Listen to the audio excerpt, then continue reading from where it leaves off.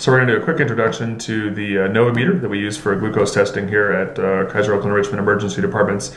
Uh, in terms of an introduction to the meter, what we have here is we have a strip port on the top. This is where we actually insert our strips. At the bottom we have our IR scan port, and for the rest, for the most part, the rest of it is kind of touch screen. You can either use these keys here, or you can use these keys here with the power button.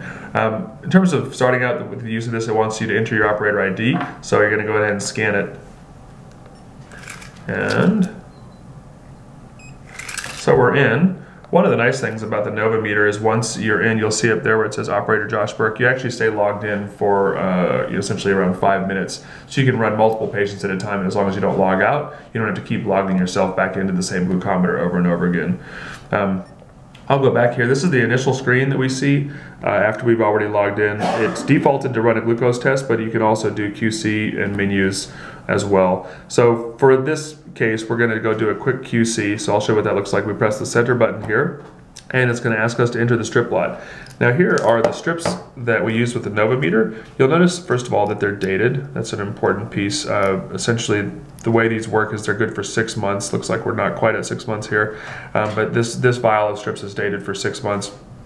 There's an open date and an expiration date. So we would say that this is not dated correctly, and we could go ahead and throw this away per policy. Uh, all right, so an introduction to the strips themselves. We have the sample application element here, and then we actually have the metal contacts which allow the test to occur. Um, so in order to scan the strip lot, we find the barcode here, and then we go ahead and scan it. And we're done. Easy as that. And then it says enter QC lot.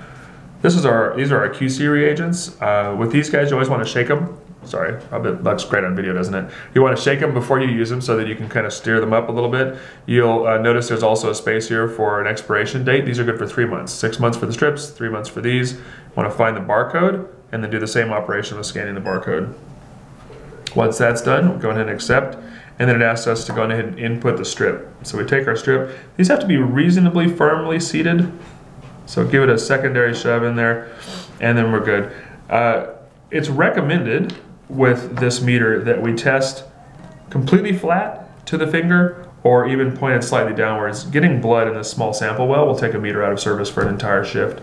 And given that we only have a handful of these for the whole department, it's real, uh, it's really paralyzing. So I'll just demonstrate quickly by just putting a dab of blood, or in this case reagent, on top of this cap. And the ideal technique is you just come down and touch it, and it wicks it up using capillary action. You get a result within six seconds. The critical value results for this are going to be less than 40, greater than 449. Any value below or above those margins are going to cause you to use the critical lab value reporting tool. So once we've passed, we can go in and enter a comment. You have a bunch of different things that you could do, repeat the test, procedure error, or clean and disinfect it, for instance. And then you can go on after, of course, cleaning and disinfecting the meter. So uh, that's the explanation kind of for how to do a quick QC. From a patient testing standpoint, we're already defaulted, of course, as you go through for a patient test, you're gonna just click accept, and it's gonna ask you to enter your strip lot, then it'll ask you to scan the patient, and then it'll ask you to actually apply the sample. So these are the two Lancets we use at both campuses. I wanted to point out the purple ones are, are not used as frequently because they're a shallower puncture at the site.